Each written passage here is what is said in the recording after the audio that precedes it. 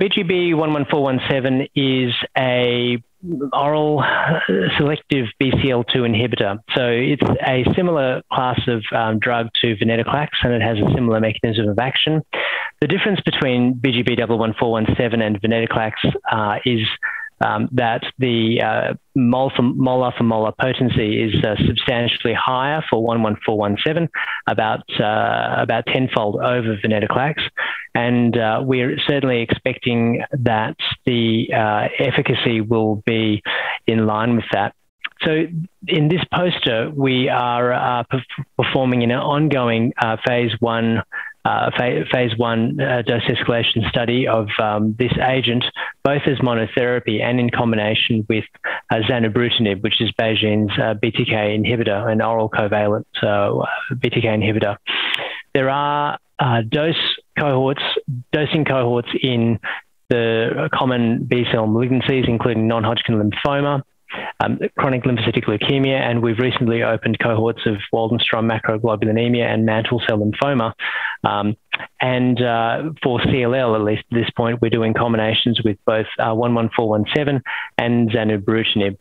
So the um, data, these data again were presented at EHA, and at that stage we had encouraging safety profile with uh, not a great deal of uh, toxicity seen. Um, the, the drug seems to be pretty nice to use, and it is um, certainly effective in patients with CLL.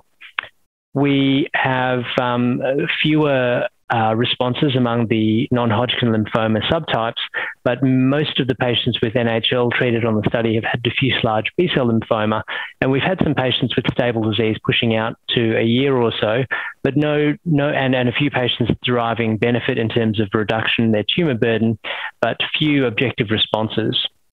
But um, in um, the venetoclax experience, the um, objective response rate in DLBCL was relatively low anyway, about 18%.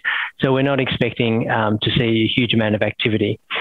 I think the more interesting thing about this drug is it is um, looking very nice in combination with zanubrutinib, and that um, uh, a cohort in patients with previously treatment naive CLL has just opened up, and we're pretty excited about that. Um, we are also, as I, as I mentioned, planning to test the combination in a number of other B cell malignancy subtypes. So, um, always uh, good to see emerging data for a uh, new BCL2 inhibitor last point to make on this is that um, tumor lysis syndrome is uh, a class specific toxicity of BCL2 inhibitors, which we have not seen using the uh, dose escalation strategy employed so far. Um, I, mean, I, think maybe one patient had uh, laboratory TLS, but um, no clinical TLS. And uh, we are moving to uh, outpatient management for these uh, patients as the study progresses, which is clearly a very uh, good uh, logistic thing for, for, for, for, doctors and for patients that hospitalisation is not required to get these patients with high tumour burden onto the drug.